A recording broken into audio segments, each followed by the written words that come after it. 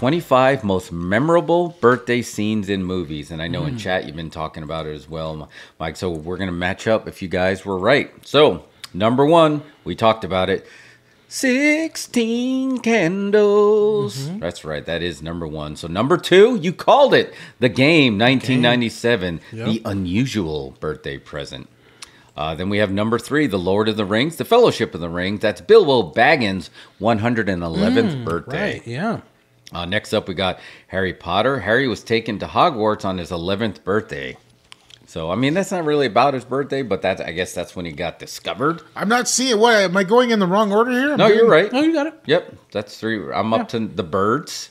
Uh, birds attack on Kathy's birthday. That's what Oh, you get, that's Kathy. That's, just, that's an awesome plot description.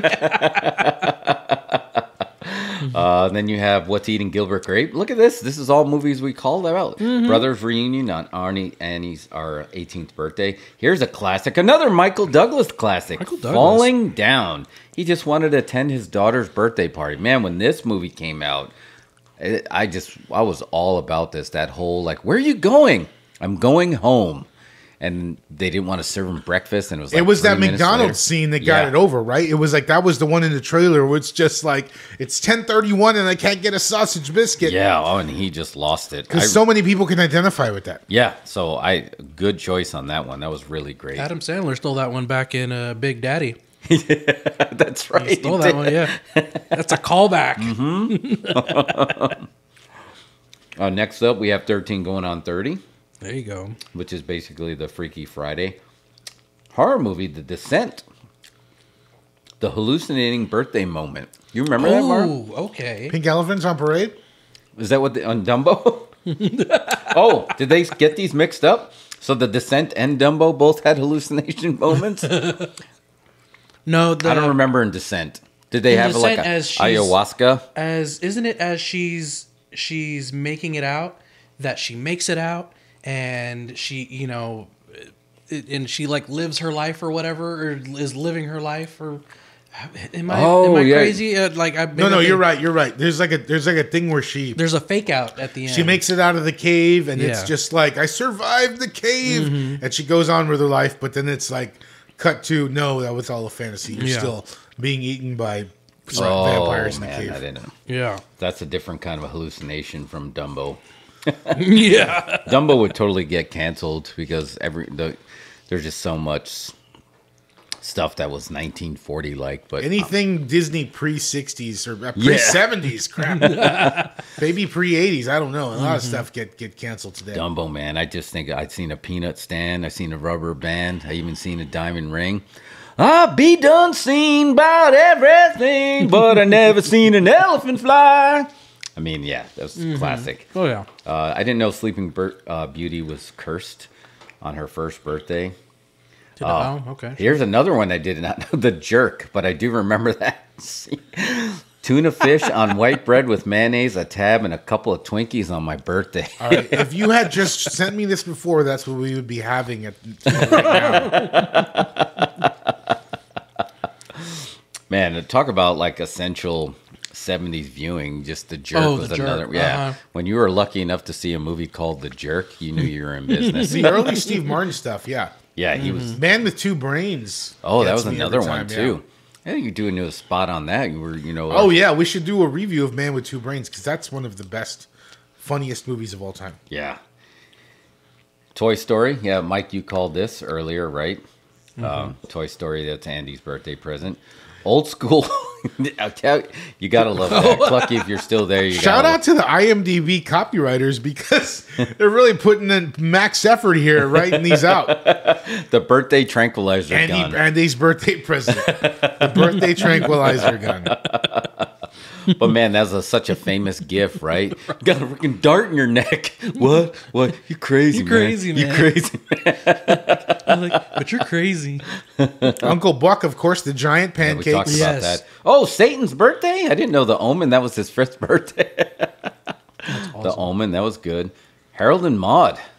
Yeah, there you go. That was her 80th birthday when I am a mark for Harold and Maude. I don't remember the birthday, but that's great. which because she was a gilf, right? That's the movie where she's a gilf. Yes. Okay, yeah, that's Uh, Logan's Run, I have not seen in a long time, so I don't remember this part about the carousel, uh, carousel birthday party. Uh, what else do we got here? Uh, Rocky Horror Picture Show?